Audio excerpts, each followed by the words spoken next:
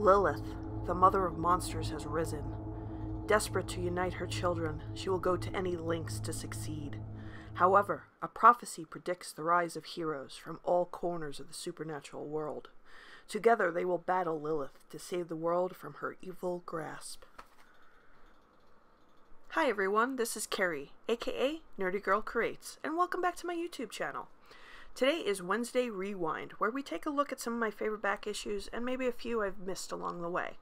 This week we're going to look at Marvel's Rise of the Midnight Sons, a six part series that crosses over multiple issues, starting with Ghost Rider number 28, Spirits of Vengeance number 1, Morbius number 1, Darkhold number 1, Night Stalkers number 1, and Ghost Rider number 31.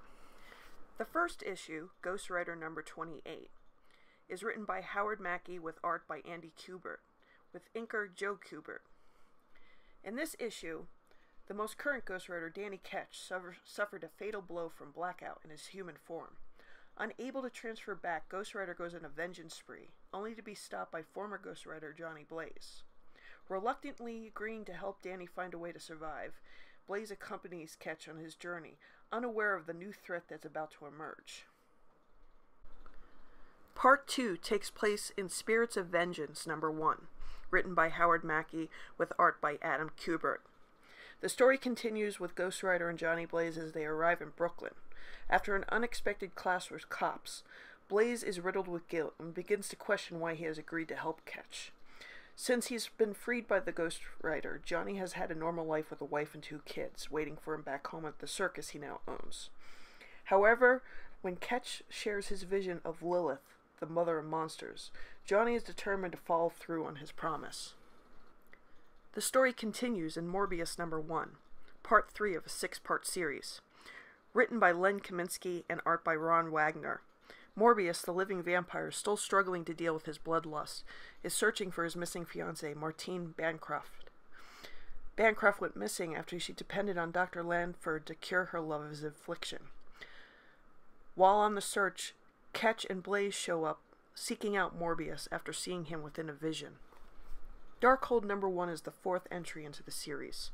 Written by Christian Cooper and art by Richard Case. A mysterious little person delivers a black envelope to wealthy businessman Donald Walsh. An unspeakable evil is unleashed, possessing him. Physician Victoria Montesi, her father, a priest, Vittorio Montesi, Interpol agent Sam Buchanan and occultist Louise Hastings are dragged into the wrath of the Book of Sins, known as the Darkhold. They team up with Johnny Blaze and Ghost Rider to track down the missing pages of the Darkhold. The fifth chapter takes place in Night Stalkers number one, written by D.G. Chichester and art by Ron Garney. In this issue, we're introduced to the trio of Blade, Frank Drake, and Hannibal King. Blade, who has recently been institutionalized in a psych ward, is suddenly released, unbeknownst to him that Doctor Strange has convinced his doctor to release him. Meanwhile, Hannibal King also seeks out the assistance of Doctor Strange, fearing that his former vampiric nature is taking back over. Frank Drake, having a vision of Lilith while visiting an aquarium with his wife, discovers his wife in a catatonic state Later, Blade, Hannibal, and Frank meet up at the Borderline Investigation Services, where Lilith, in human disguise, employs them to hunt Ghost Rider and Johnny Blaze. The story concludes in Ghost Rider number 31, written by Howard Mackie and art by Andy Kubert. All the players from the last five issues are united by Doctor Strange to face off with Lilith and her children. The situation, however, is complicated. The mother of demons has bond Danny Ketch's soul with one of her deceased. Will the Midnight Sons succeed in defeating Lilith, and will they be able to rescue Danny Ketch in time? So, what do I like so much about this storyline? First off, you have two Ghost Riders. The former, Johnny Blaze, who's now trying to live a normal life with his wife and kids, and Danny Ketch, the newly christened Ghost Rider. You have Blaze struggling with trying to keep away from the supernatural world, but also feeling guilt over Danny Ketch's curse. Danny, meanwhile, is struggling to deal with the demonic force within him while also trying to survive the wound that has been inflicted on him by Blackout. You also get introduced to the Blade movie fans are more familiar with. No longer wearing goggles and wielding stakes, you get the black leather and katana wielding blade everybody is familiar with. You also have a really interesting villain in this with Lilith and her children. Each issue deals with a different aspect of that.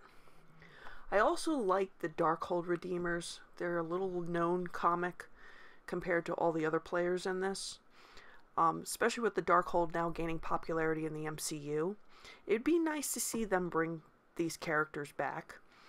The storyline usually consists around them trying to find missing pages from the Darkhold and undoing the curse that they deliver to whoever possesses them. I also like Morbius's plot in this. It might not be as long as some of the other characters, but for Morbius, who's better known as a Spider-Man villain, he gets to show his heroic side in this. He might be still struggling with the bloodlust and hoping for a cure. At least he gets to use those powers against Lilith and to show his worth as a character in the comics. I was disappointed in Doctor Strange's role in this series. He plays more of a background character, despite being the Sorcerer Supreme.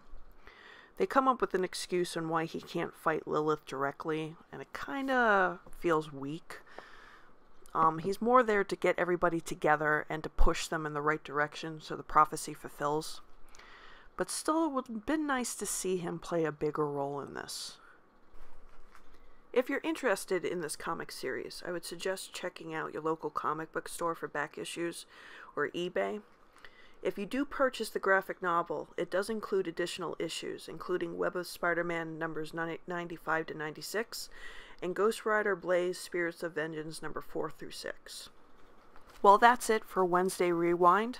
If there's any back issues you would like me to check out in a future episode, please leave it below in the comment section. And don't forget to like, share, and subscribe. And remember, you can find me on Twitter and Instagram. I'll see you in the next video.